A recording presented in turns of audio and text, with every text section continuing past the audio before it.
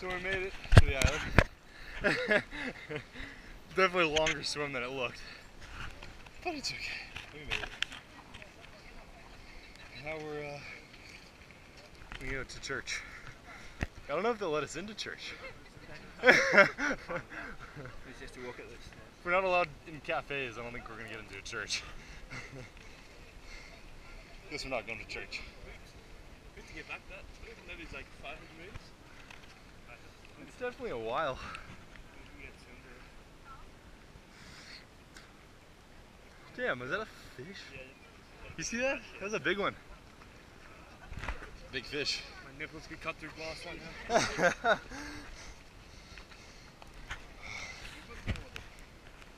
huh? Yep. Nice and cold. Do you know what that guy said?